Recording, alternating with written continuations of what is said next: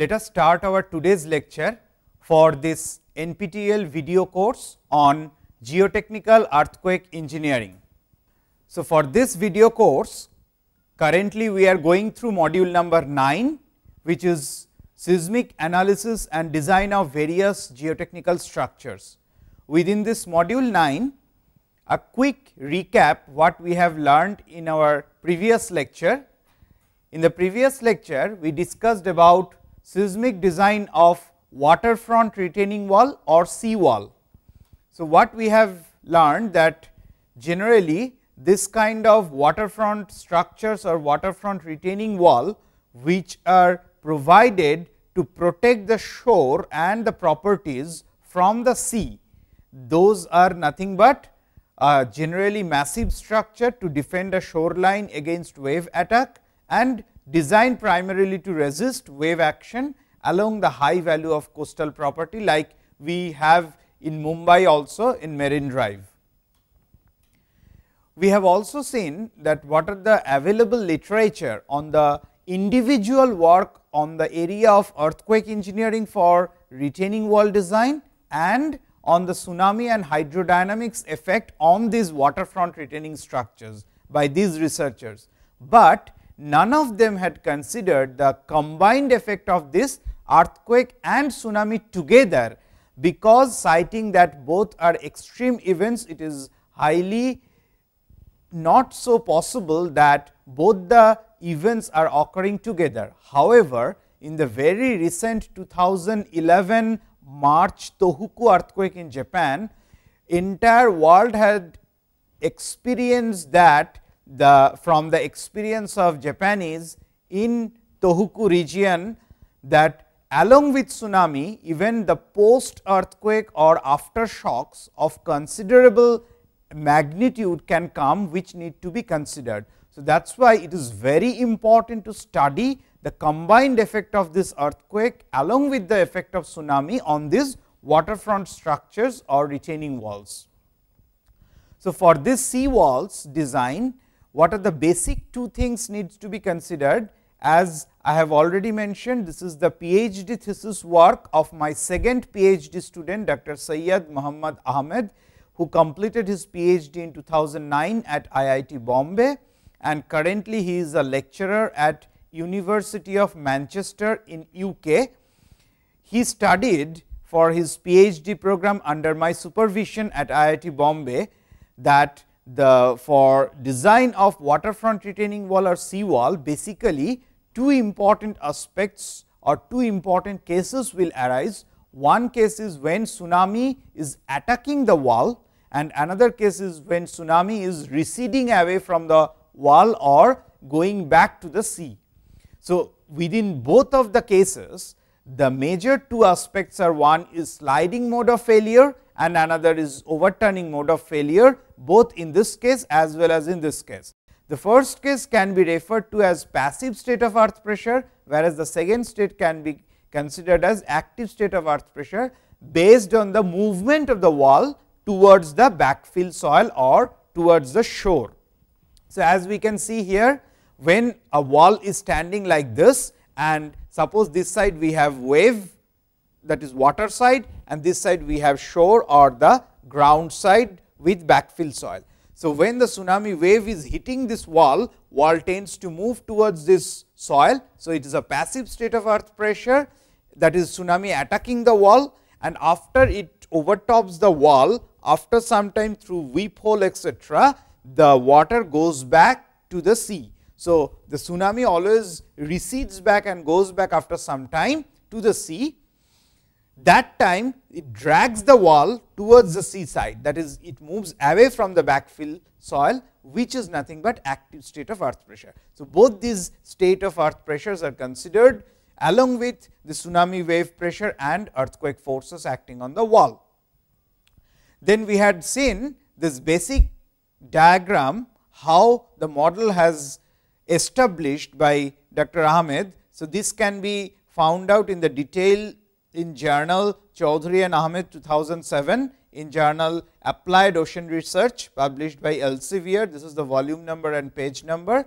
This case is for the passive case using pseudostatic approach of uh, earthquake loading.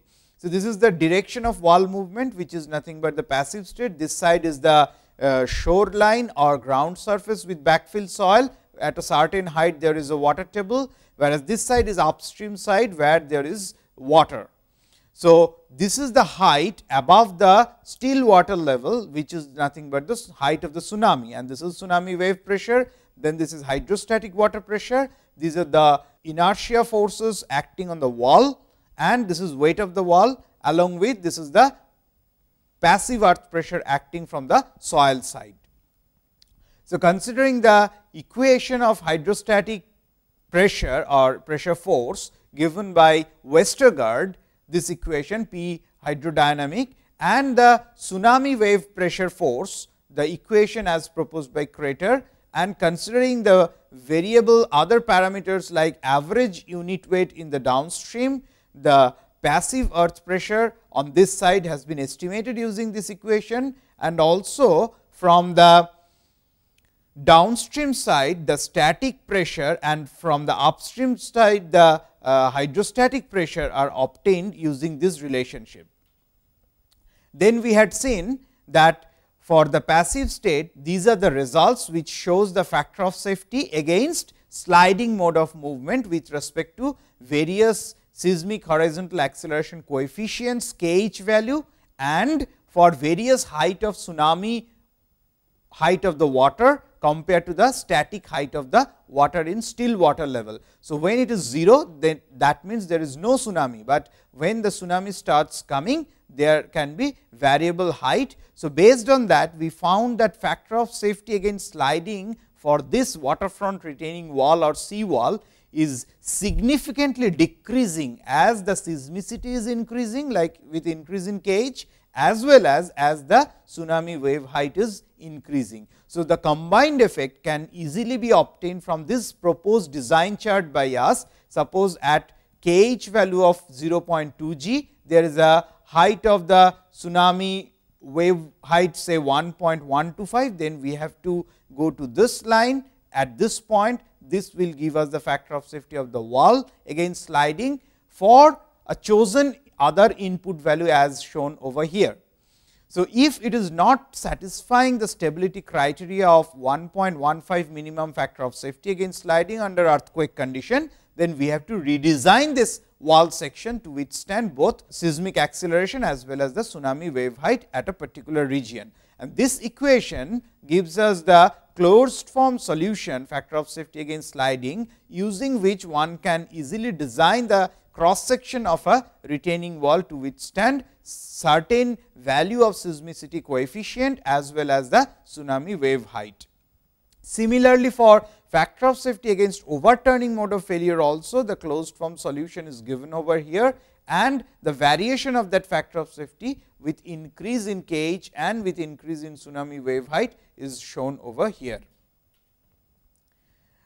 Another case that is design solution for the active state of earth pressure that is when tsunami wave is going back to the sea using the pseudostatic approach for earthquake loading. It has been proposed the solution or design solutions are proposed by Choudhury and Ahmed in 2007. This journal paper Choudhury Ahmed 2007 in the journal Ocean Engineering published by Elsevier. This is the volume number and page number you can see the factor of safety against sliding mode of failure when we are considering this mode that is when tsunami wave is going back to the sea that is receding back. In that case for each of these mode of failure that is sliding and overturning, we have two different conditions. What are those two different conditions? As we have discussed in our previous lecture, it is based on the permeability of the backfill soil and also how the drainage through the wall using weep hole etc., or filter design etc., has been provided. So, based on that one condition can be free water movement that is when the permeability of the backfill material is good as well as there is a free drainage provided in the wall section. So, that no water stands in the backfill soil when tsunami is going back to the sea, but there is a possibility or a case when the permeability of the soil is not very high also the design of filter drains and weep holes are not properly designed, in that case it should be considered as restrained water case in the backfill. So, considering these two criteria as I have said factor of safety against sliding small r denotes restrained water condition and small f denotes free water movement condition. So, under both these conditions we can have the closed form solution of factor of safety against sliding. Similarly, for factor of safety against overturning, restrained water case as well as free water case are proposed by us using uh, by giving these equations. And the results shows typically over here like factor of safety against sliding with respect to kh value as we can see kh value increases factor of safety drastically decreases for this chosen input value and the variation with respect to the restrained water or free water case also can be seen over here. So, in this case as we know tsunami wave height does not matter because tsunami is receding back or going back to the sea. Similarly, factor of safety against overturning also dependent on the values of kh, kv and other input parameters like restrained water height condition and free water height condition. Then we had discussed in our previous lecture also about this active state of earth pressure for waterfront retaining wall using pseudodynamic approach of earthquake loading. So, for pseudodynamic force this is the direction of wall movement because it is the active state tsunami is going back to the sea. The details are available in this journal paper Choudhury and Ahmed 2008 published in the journal of waterway port coastal and ocean engineering of ASCE USA. This is the volume number and page numbers. And the results of factor of safety against sliding and overturning with respect to KH values are shown over here and compared these present study results with the available results in the literature as proposed by Ebeling and Morrison in 1992, which is used by US Army Corps of Engineers for design of sea wall or waterfront retaining wall. And you can see the present study gives the critical solution compared to the pseudostatic result, because pseudodynamic results considered the dynamic effects of these earthquake forces and tsunami forces effectively compared to pseudostatic result.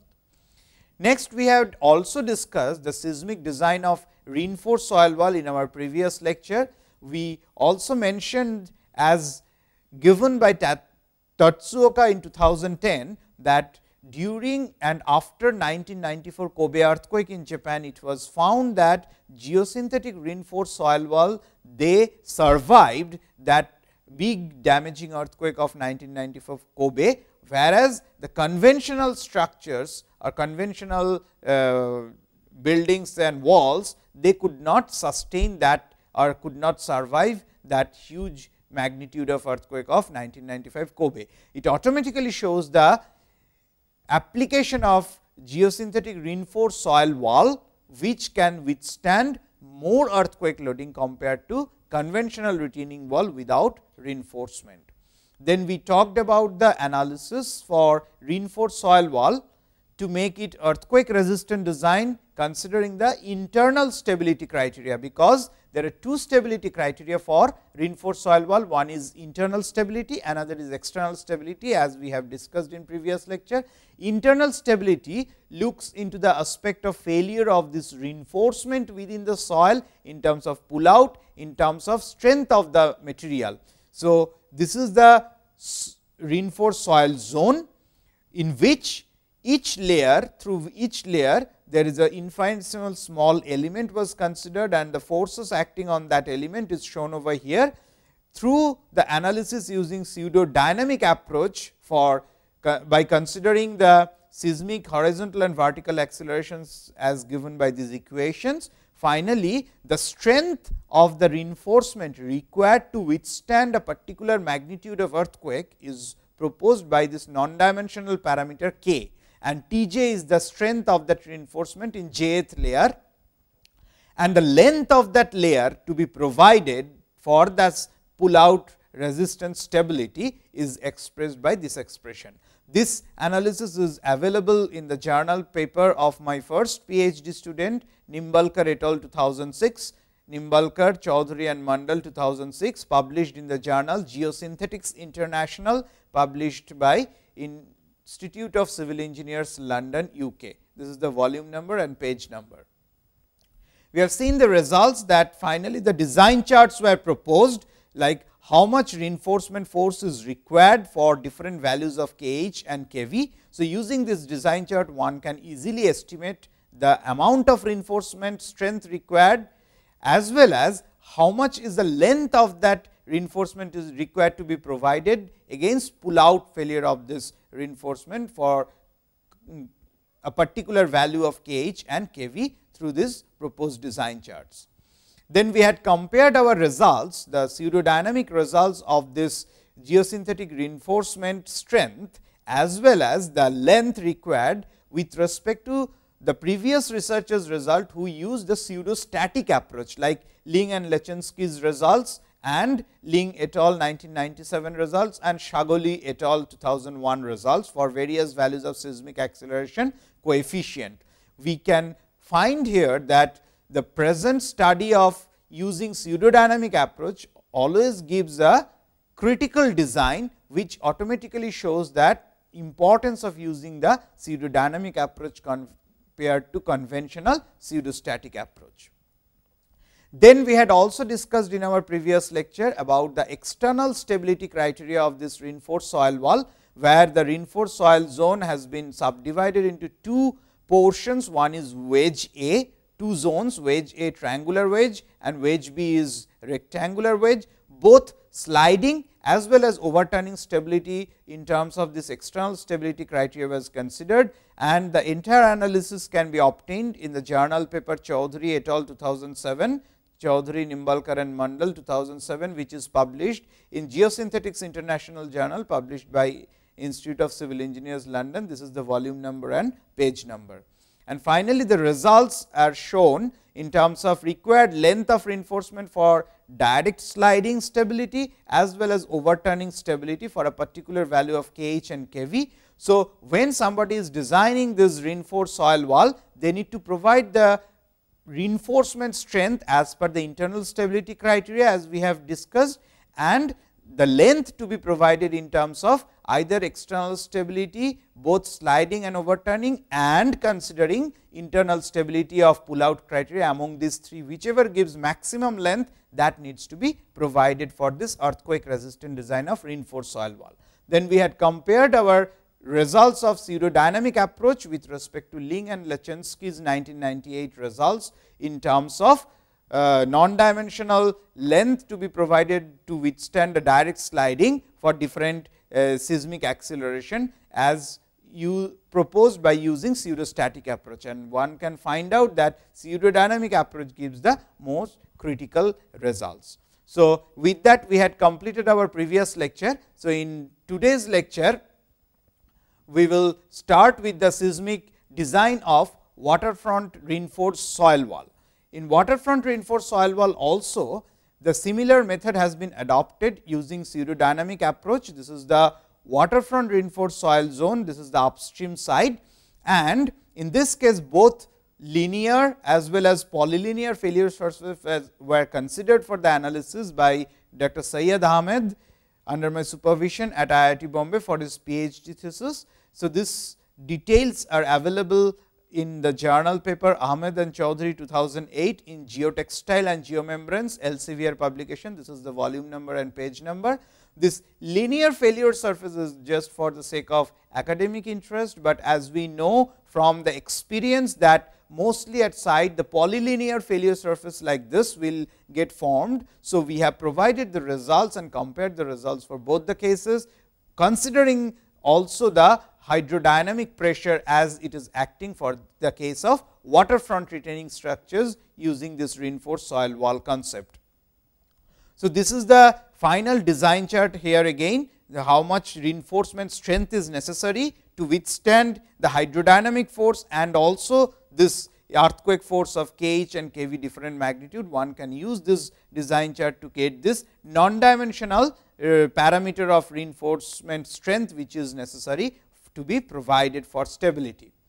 Also the external stability criteria for reinforced soil wall used as waterfront retaining structure was considered using two wedge mechanism wedge A and wedge B considering both direct sliding mode of failure as well as the overturning mode of failure and the details of this external stability analysis are available in the journal paper by Choudhury and Ahmed 2009 in published in the journal Geosynthetics International Institute of Civil Engineers London UK. This is the volume number and page number. And the results here again the design charts have been proposed to calculate how much reinforcement length is required in the non-dimensional form the design charts are provided. So, that designers or practitioners can use it very effectively and easily for different values of input seismic acceleration how much value needs to be provided for overturning mode of failure. Similarly, for sliding mode also the values have been provided. Then this table shows the comparison of pseudostatic approach results as given by Ahmed and Choudhury in 2012 compared to pseudodynamic results of Ahmed and Choudhury 2008, which we have mentioned just now you can see over here that the value of this k that is the reinforcement strength which is required as far as pseudodynamic approach and pseudostatic method is concerned you can see pseudostatic method in this case is giving higher value. So, it is not always necessary that pseudodynamic will give the lowest possible value, it can depend on the various input parameters etc. So, for the waterfront retaining wall reinforced soil case, we found that static results are giving the optimum value or the design value or critical value of results. So, these details are available in the journal paper Ahmed and Choudhury 2012 published in journal Ocean Engineering published by Elsevier. This is the volume number and page number. Now, let us come to next subtopic that is seismic design of shallow footings. Now, shallow footings or shallow foundations we use extensively for several structures like small buildings like one story or two story building at various places. So, how to make these foundations earthquake resistant or how to design this foundation to withstand certain magnitude of earthquake, so that there is no damage. This topic will mention us how to design those shallow footings or shallow foundations, which can withstand certain magnitude of earthquake depending on the soil conditions. So, this is the analysis you can see over here this is the line diagram of a cross section of shallow isolated strip footing. This is the width of the footing B, this is the depth of embedment of the shallow footing d f and as per Terzaghi's definition, if it is shallow footing, then this ratio of df by b should be less than or equals to 1 and this is the length of the footing. This length has been considered much larger than this width of the footing. So, that we consider as a strip footing for the analysis. As Terzaghi did for the static case of uh, bearing capacity factor determination, this dotted line shows the typical failure surface as far Terzaghi's failure uh, mechanism is concerned. Now, this dotted line is actually symmetric under the static condition. So, whatever we see on this side, the similar thing we can find on the other side under the static loading condition. However, it is not the case in case of the seismic loading. Why? Because at seismic loading when we are considering the pseudostatic approach for the seismic loading, suppose kh is the horizontal seismic acceleration and kv is the vertical seismic acceleration, the net effective load in the vertical direction will be 1 plus minus kv q u d is nothing but ultimate bearing capacity of the soil times this b width of the footing. Now, this q u d we need to estimate as far as Terzaghi's method in static case is considered, we need to find out in dynamic case for the proposed solution as we are detailing over here. And kV is vertical seismic acceleration, it can act in both upward as well as downward and we need to consider the critical direction which gives the minimum value of this bearing capacity under dynamic condition. And at one instant this kh value can act in this direction, so that it gives us a one sided failure mechanism, because if it acts in this direction obviously, the other side the full passive earth pressure is not going to get developed. Because of that it will not develop a failure surface in the other direction, but it will develop failure surface only in this direction. So, it will be one sided failure mechanism like this and these are the, the three typical zones under the seismic condition. The details of this can be obtained in the journal paper published by Choudhury and Subbarao. This is a part of my PhD thesis work under the supervision of Professor K. S. Subbarao at IISc Bangalore. This paper Choudhury Subbarao 2005 is available in journal paper Geotechnical and Geological Engineering published by Springer. This is the volume number and page number.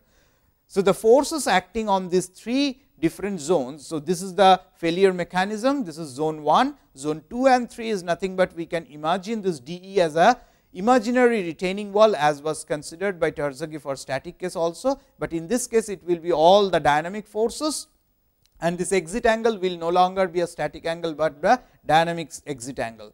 And this what are the important changes with respect to static? In static these two angles are equal as we know for Terzaghi's analysis with rough footing this is phi value, whereas in this case these are non equal alpha 1 and alpha 2, alpha 1 will be more than phi and alpha 2 should be less than phi. So, we have to find out what should be the value of these two angles corresponding to this will be full phi that is one sided failure mechanism. So, this angle of internal friction between this zone and this zone which is nothing but phi soil friction angle, but in this side where the full passive pressure is not getting developed this m factor is a factor which is less than 1 it will be equal to 1 under the static case when both the sides are getting formed with the same failure mechanism. So, this phi 2 value that is the mobilized interface soil friction angle will be lesser than this value of phi. So, we have to do a iteration of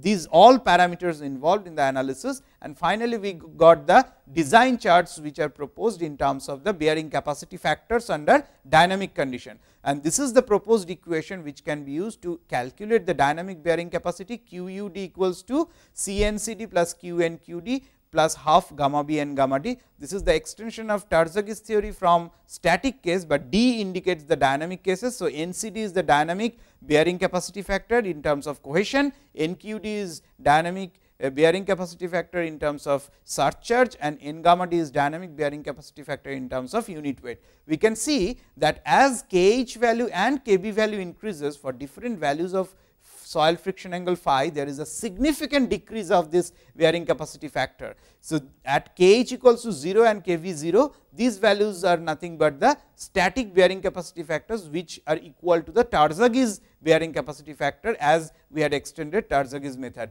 But under dynamic condition, our present study shows the critical decrease of this bearing capacity factor, which need to be considered at a particular site, knowing what is the value of input value of k h and for particular value of phi. Then for a chosen kV value for design, we can get what is the NCD value. Similarly, for NQD and n gamma d also these design factors can be obtained and finally, the design of this shallow isolated footing can be done using this proposed design charts. The comparison of results shows that present study gives a critical value of this design uh, factor bearing capacity factors compared to previous one researchers who did the similar analysis like Budhu and Alkarni 1993 published in the journal Geotechnique, but our values are critical because we considered one sided failure mechanism also the partial mobilization of passive earth pressure on the other side as there is no failure surface is getting developed at one instant of direction of acceleration of seismic um, horizontal acceleration. Then we extended our study for the shallow strip footing embedded in the sloping ground. These are very useful in the hilly terrain like in hilly region like in Himalayan region there are several houses which are constructed in the hilly terrain or hilly region which are of sloping ground like this. So, how to make those foundations seismically stable or earthquake resistant the design methodology has been proposed in this journal paper Choudhury and Subbarao 2006, which is published in International Journal of Geomechanics published by ASCE USA. This is the volume number and page number. Actually, this journal paper of ASCE won the best paper award from ISC MAG in 2008.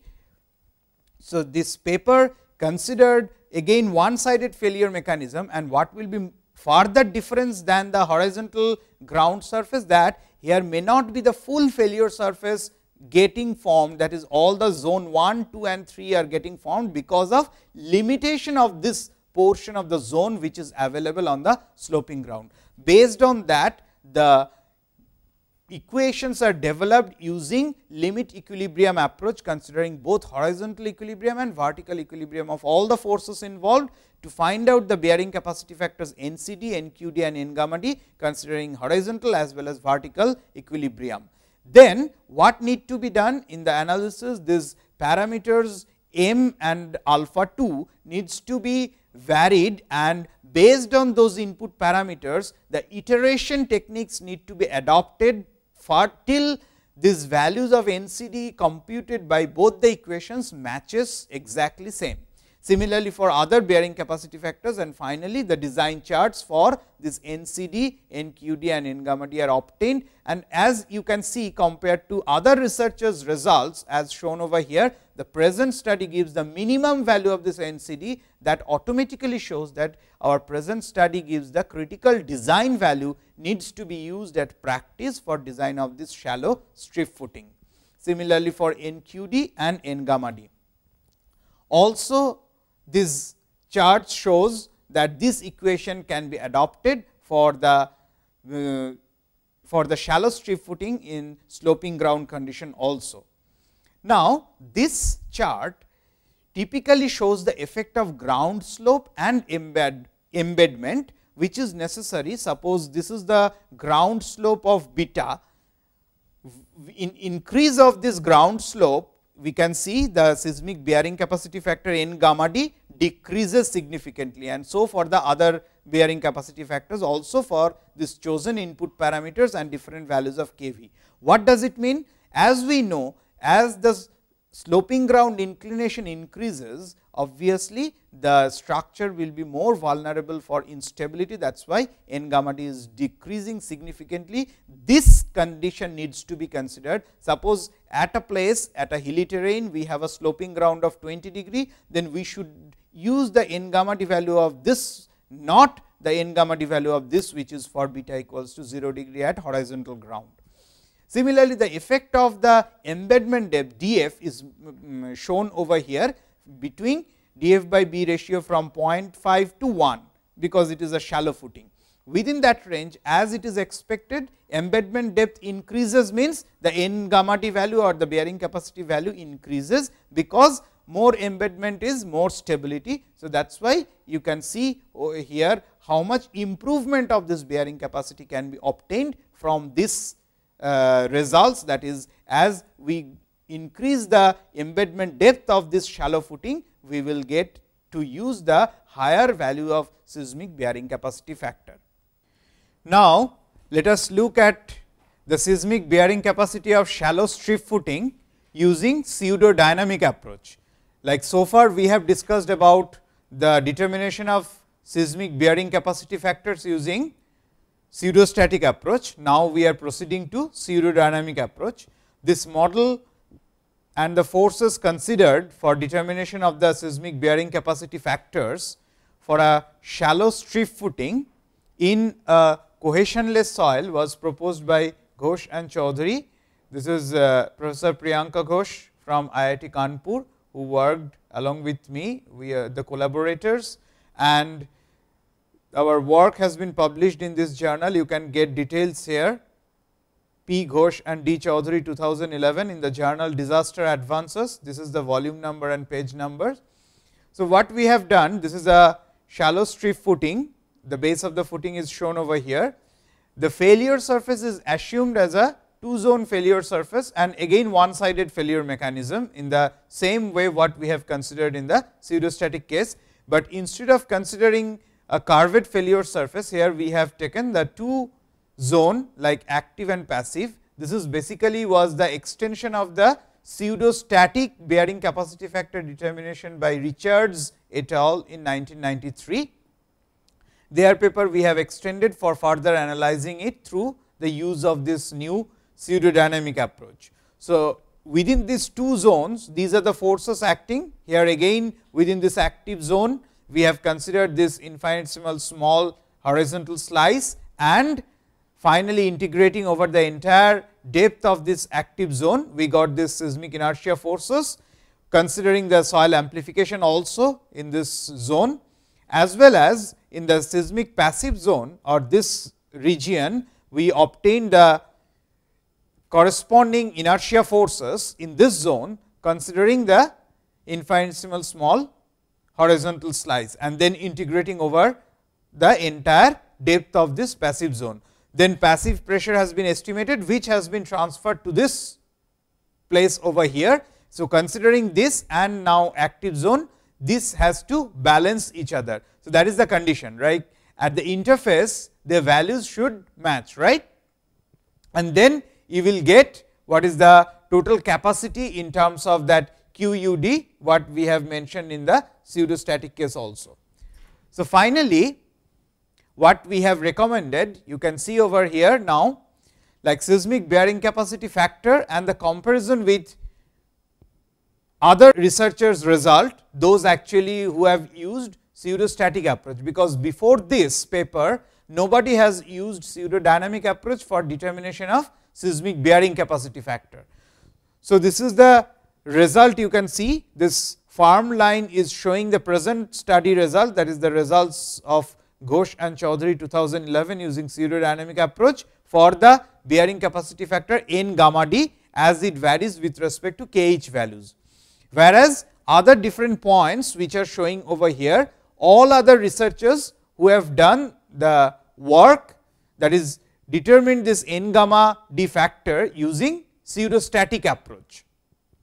So, it is not necessarily that pseudodynamic will give us always the lower minimum, it depends on the combination as I said earlier. So, we can see here pretty well that even compared to the Richards et al 1993, which method I have mentioned that we have extended from pseudostatic to pseudodynamic. So, this uh, open circles, this points open circle, this gives little lower values compared to our pseudodynamic results. However, in pseudodynamic as we have mentioned, we can consider various dynamic related properties like soil amplification, shear wave primary wave velocity, then duration of earthquake motion, frequency of earthquake motion and so on. Whereas, the validation was at kh equals to 0 and kv equals to 0 that is at static case it value must match with that of Richards et al 1993 right that is a validation. So, that has been matched over here. But remember this present study gives us the result for amplification factor of 1. So, when there is no soil amplification. So, in pseudostatic method we do not have the chance to incorporate that amplification factor, but we can take that aspect in the pseudodynamic approach. So, if you see the results of n gamma d bearing capacity factor how it varies with respect to the variation of kh values for different values of amplification factor starting from 1 to 2, you can see this uppermost value or uppermost curve is for no amplification when there is no amplification that is amplification factor equals to 1 and the lowermost curve is showing the value of n gamma d when there is an amplification of 2. What does it mean? Your design value of this bearing capacity factor is drastically reducing or significantly reducing when there is an increase in the amplification factor in the soil.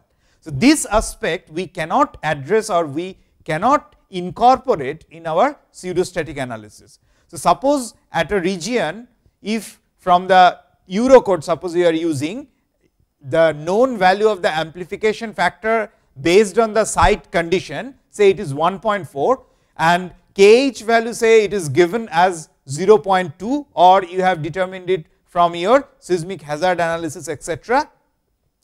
Then you need to go to this curve where it is a this cross sign right that denotes to FA value equals to 1.4 you can see over here.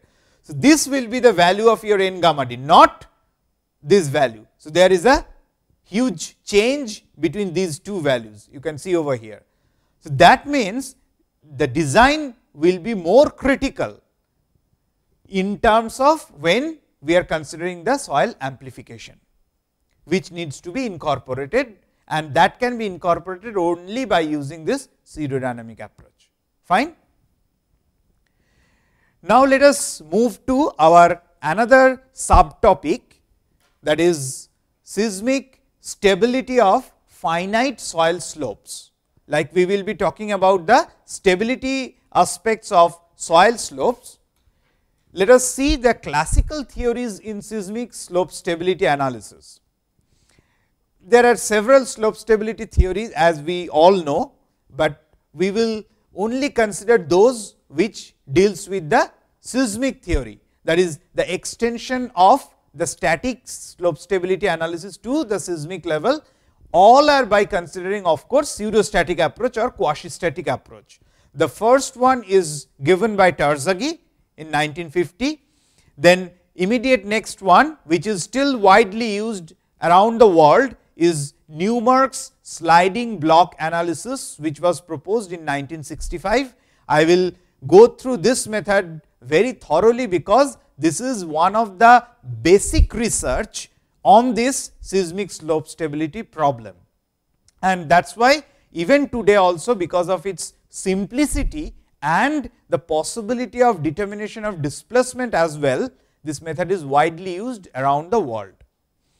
Then Seeds improved procedure for pseudostatic analysis, then modified Swedish circle method and modified Taylor's method. There are several other methods after that which have been developed. I will try to discuss most of the recent approaches for the seismic slope stability analysis. Coming to the Terzaghi's concept of pseudostatic method which I have already discussed in our present module in one of the previous lecture. As we all know pseudostatic method of seismic analysis is derived something like that. This is the way we calculate the horizontal inertia force, seismic inertia force Fh is nothing but mass times seismic acceleration in the horizontal direction, which you can express as W times A by G. W is the weight of the failure zone on which it is acting, the seismic acceleration is acting. So, A generally we take the maximum acceleration A max by g. So, this A max by g ratio is called kh that we have already seen this is called coefficient of seismic horizontal acceleration. Now, how to select this kh value already I have discussed this though, but here some other points and recommendations as given by various researchers let us look at here various guidelines for the selection of this kh value for any pseudostatic analysis. Like it is will be based on peak ground acceleration, some people say the higher the value of the PGA that is A max, the higher will be the value of kh and that should be used in the pseudostatic analysis. But remember using the exact value of A max as kh will be a gross approximation or it is it will give you an uneconomic design, because that is a too high a value which is not sustaining for a longer duration. right? So, we need to evolve certain criteria based on which we can select this kh value. As I have already mentioned the Eurocode criteria how to estimate this kh value based on different factors etc. There are other codes also worldwide which suggest how to find out this kh value. Now, based on the earthquake magnitude, the higher the magnitude of the earthquake, the longer the ground will shake and consequently the higher the value of kh that should be used in the pseudostatic analysis. Now, maximum value of kh when item number this 1 and 2 as outlined above are considered and kept in mind that the value of kh should never be greater than this A max by G. That is quite obvious, because this is the absolute maximum value possible for kh to have. now, minimum value of kh, what should be the minimum or threshold value? It need to be checked if there are any agency rules that requires a specific seismic coefficient. Like as we have mentioned, there can be some guideline for threshold value of acceleration that will be your minimum value. like local agencies of California uses the minimum seismic coefficient kh of 0.15 for the division of mines and geology as far as 1997 recommendations are concerned. Size of the sliding mass. Now, use a lower seismic coefficient as the size of the slope failure mass increases. That means, if you consider the extension of failure zone for a larger area, you can go for a lower seismic coefficient. The larger the slope failure mass, the less likely that during the earthquake the entire slope mass will be subjected to that destabilizing seismic force in the out of slope direction. So, what are the other suggestions like when it is a small slide mass, then recommendation is use k h equals to m x by g, but when it is intermediate sliding mass, use the value of k h as 0.65 times m x by g that means 65 percent of this maximum value. Okay. And remember this factor of 0.65 is also used in our liquefaction analysis which we have discussed earlier in one of our module. And large slide mass here use the lowest value of kh for large failure masses such as like large embankments, dams, landslide etc. And SEED in 1979 recommended that kh value should be 0.1 for the sites where near faults capable of generating magnitude of 6.5 earthquake is possible and in that case he recommended that the acceptable pseudostatic factor of safety should be 1.15 or greater. That means, minimum value of factor of safety should be 1.15 for that slope. Okay? That is for design of large embankment or dam or landslide problems. Whereas, kh value needs to be used as 0.15 for the sites near faults capable of generating magnitude of 8.5 earthquake. So, for 8.5 earthquake kh value of 0.15, for 6.5 earthquake kh value of 0.1.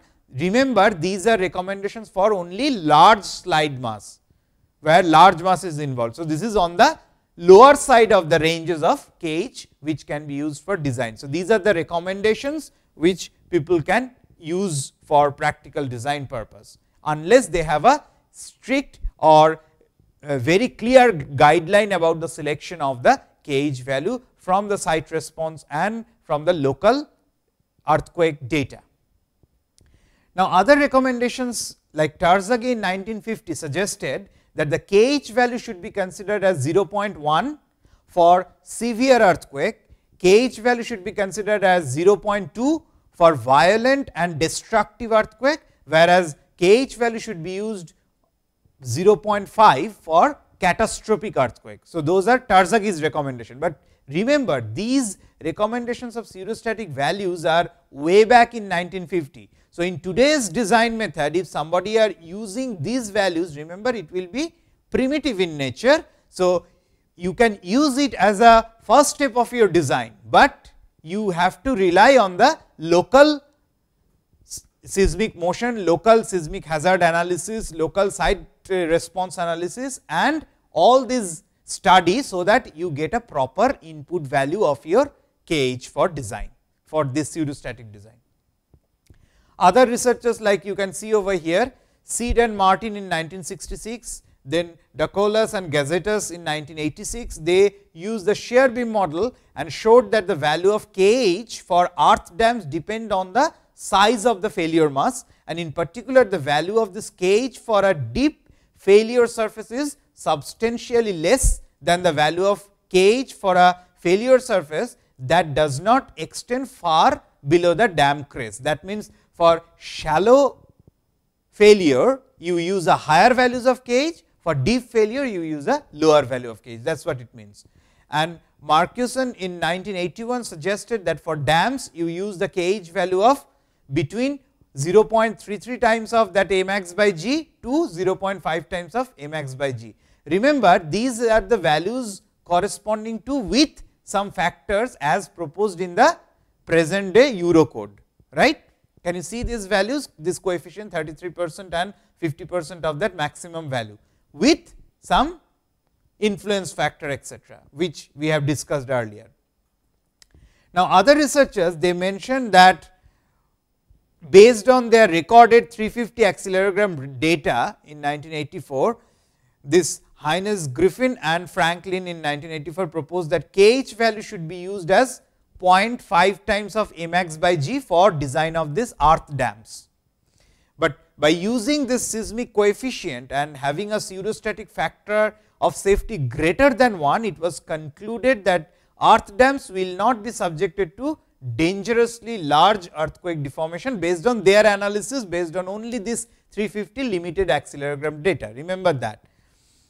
Whereas, Kramer in 1996 states that the study on the earth dam by these researchers would be appropriate for most of the slopes, because slope stability problem is also applied for earth dam also for the stability of the earth dam slope. So, also Kramer indicates that there are no hard and fast rules for the selection of this pseudostatic coefficient for slope design, but that it should be based on the actual anticipated level of acceleration in the failure mass including any amplification or de-amplification effect. So, remember this guideline or suggestion as given in Kramer 1996 that when you have some actual anticipated level based on your local site response analysis and seismic hazard study, you should use that, where you can include this amplification and de-amplification effect also.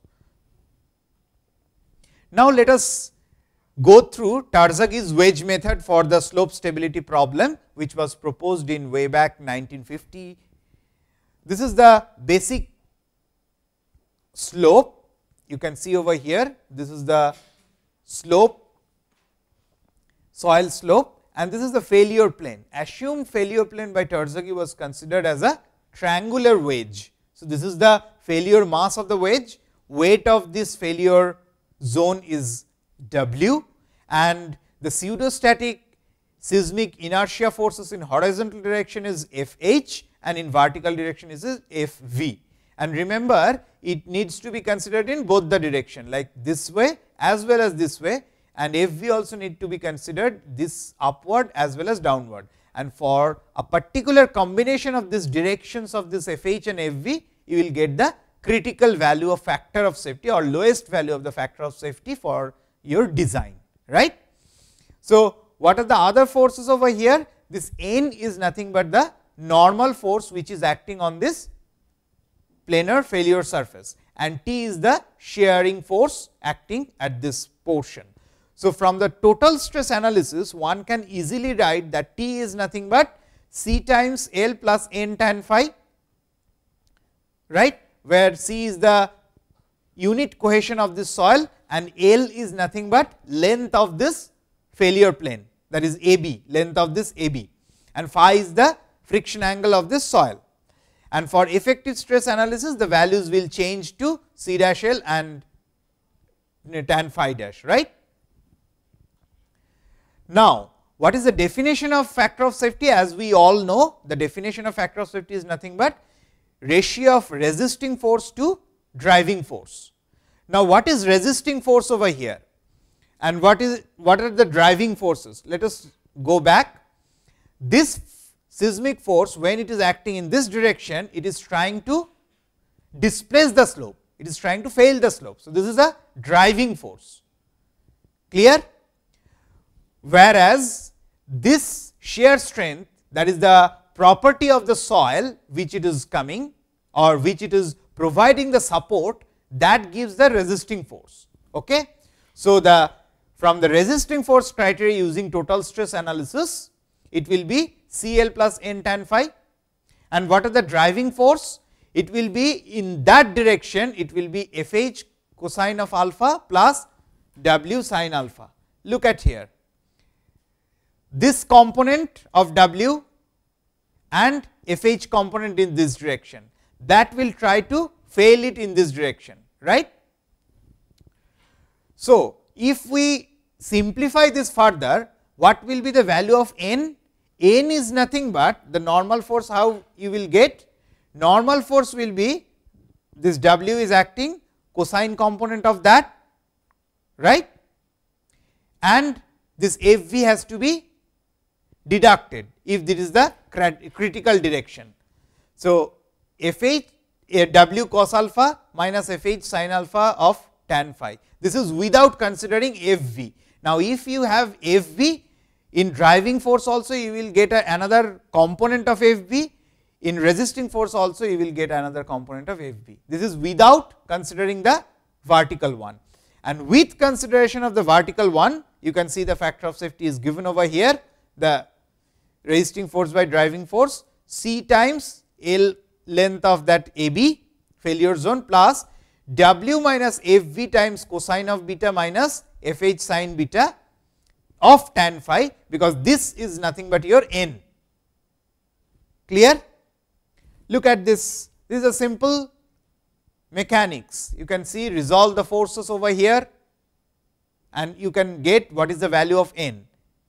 n is nothing but equals to this w cosine alpha and in this case if you denote this angle as beta then w cosine of beta minus of f v cosine of beta because f v can be plus and minus you have to consider the critical value for which you are getting the minimum factor of safety. Clear?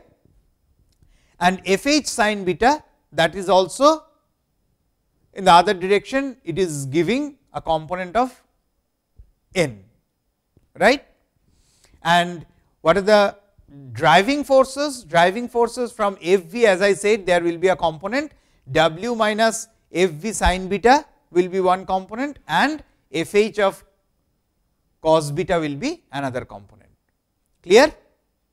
So, using this formula one can easily calculate the factor of safety and what is the recommendation as we have seen for safety it has to be 1.15 right more than that is safe factor of safety against pseudostatic seismic analysis. Now, let us come back to another methodology which was proposed by Newmark. So, this Newmark's sliding block method is one of the pioneering work in the area of this slope stability analysis for soil. How it was developed? Let us see. It was developed based on the concept of friction block that is a block which tends to move over a sloping ground like this, what are the forces acting on it. Based on that mechanics, Newmark had developed this problem. So, what was considered this mass is the failure mass or failing mass, which is failing with respect to a stable zone of soil. That means, if you consider this portion is a stable zone, this mass is failing with respect to this plane. Clear? Now, what is Newmark's sliding block method? Why the name sliding block? As the name suggests, this is a block, soil block that is the failure mass, which is sliding or moving over this stable block. Fine. So, it was developed in the year 1965 in the journal paper appeared in the journal Geotechnique published by IC London. This is a classical work as I already mentioned. You can see the weight of the failure mass is W. So, if you resolve it into two directional components n that is your normal force is nothing but W times cosine, cosine of i, i is this inclination and this force is W times sin i. This W sin i is trying the block to slide down and what resist it. So, that is the driving force and what resist it that is the shear strength property. What is the shear strength property? What is the frictional property? There is nothing but this normal force times tan of phi, tan of phi because it is the same soil, right, soil over soil. Otherwise, it would have been delta if suppose there are two materials like we solved in our basic engineering mechanics problem friction problem that a block is sliding over another material there will be interface friction between the two materials. So, in case of our soil it is n tan phi that is the stabilizing force right. So, the factor of safety is expressed as stabilizing force by driving force. So, stabilizing force in this case is n times tan phi and n is w of cosine of i divided by driving forces w sin i. So, if you simplify it the factor of safety is simply just tan phi by tan i. Remember this is for the static case. So, initially Newmark has shown this figure to make everybody understand that this is a simple extension of the static problem of friction sliding block method to the seismic analysis for the soil slope. Now, additional factor what are coming into picture this W times alpha CR. What is that? This is nothing but inertia force, seismic inertia force in the horizontal direction. Newmark has considered only the horizontal seismic inertia force. He did not consider the vertical one, but later on people had modified this Newmark sliding block method considering vertical force also that you people also can do because it is nothing but a simple mechanics problem. So, when this seismic horizontal inertia force is added, what are the changes occurring? Now, you have additional component of this W times alpha CR which is the inertia force along this driving direction okay and you have another component of this in the vertical direction which is reducing your normal force of this n. So, both way it is damaging the stability. Can you see that? Because this is adding to this denominator on this driving force, this tau dash and it is reducing the stabilizing force in terms of this n dash. Is it fine? Clear? So, using this factor of safety can be calculated. Now, Newmark has gone further beyond what Terzaghi has recommended. Terzaghi so stopped here that is he mentioned determine the factor of safety and check the factor of safety if it is more than 1.15 then it is a stable slope. But if it is not stable then how much is the displacement? Up to how much we can consider that it is allowed to fail. That is the amount of displacement cannot be considered in Terzaghi's method, but Newmark sliding block method the beauty is it is a displacement based approach also including the force based concept.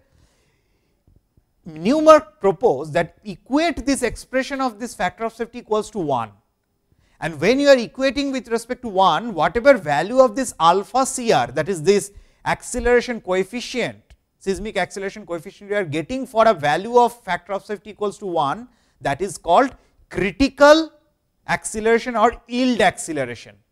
For that yield acceleration beyond that acceleration if actual acceleration is beyond that value then the slide factor of safety will be of course less than 1 that means it is no longer a stable slope it will start sliding down then how much is that sliding how much is the displacement that can be computed based on the difference of the acceleration between this critical value and the actual value of acceleration now integrating that acceleration twice you will get the displacement. So, what I am telling this is the expression of factor of safety as per Newmark's method. Newmark introduced this coefficient ky which is called yield acceleration coefficient. This yield acceleration coefficient is nothing but that seismic acceleration coefficient for which factor of safety equals to 1. And when your actual acceleration is say capital A acting on the slope, you have to find out what is the difference between this a minus a y. a y is nothing but k y times g. Okay?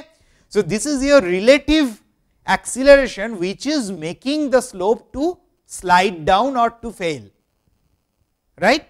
So, that relative acceleration which varies between the time scale of t naught to t naught plus delta t, you can integrate it between that time scale to get the relative velocity Further you can integrate that velocity between that time scale to get the relative displacement. So, this value of relative displacement will give you the movement of the failed slope which is having factor of safety less than 1. So, this is also very important nowadays as far as performance based design or the displacement based approach of design is concerned. Clear? Okay. So, with this we have come to the end of today's lecture. We will continue further in our next lecture.